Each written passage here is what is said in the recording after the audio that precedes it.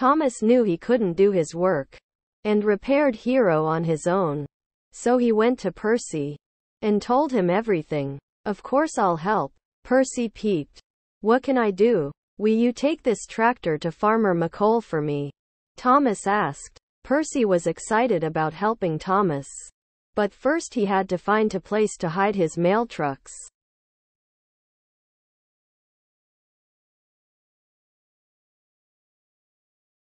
Percy found an old siding to hide the mail trucks in.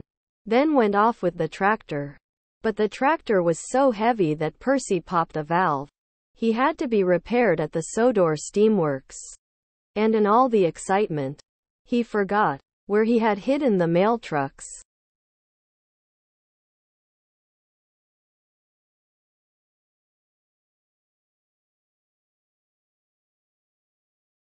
Back at Tidmouth Sheds, Sir Topham Hatt was very cross that Percy has lost his mail trucks.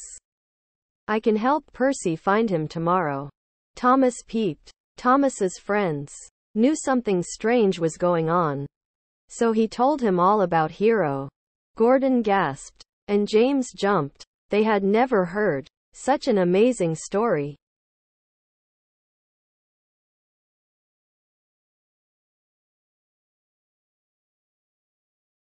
The next morning, Thomas was a really useful engine.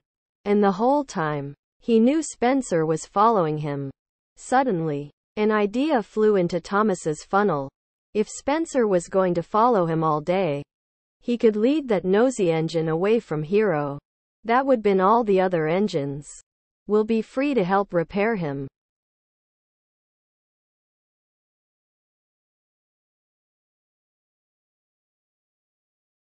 The next day, Thomas and Percy looked for the mail trucks as far away from Hero as possible. They puffed out to the quarry with Spencer sneaking behind the whole way.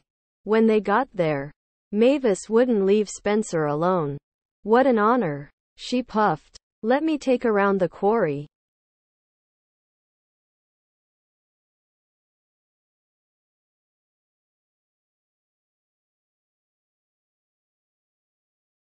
As he toured the quarry, Spencer biffed a hopper. Slate and dust showered down and blocked his funnel.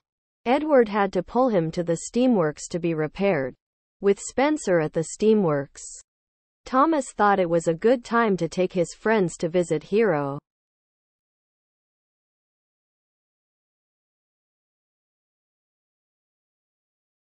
Hero liked meeting the other engines. But making all these new friends reminded him of old friends back home. Which made him sad. Don't worry. Thomas peeped. Tomorrow. Percy will bring the last part. Then you'll be ready, and you won't be alone anymore.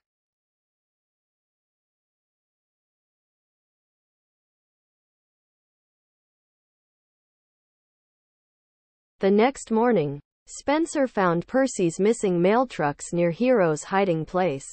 These must be part of Tricky Thomas's tricks.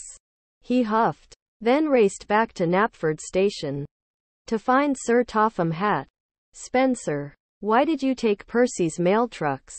Sir Topham Hatt demanded. I didn't take. Sir Topham Hatt wasn't interested Spencer's excuses. Spencer was mad. I won't let Thomas get away with this.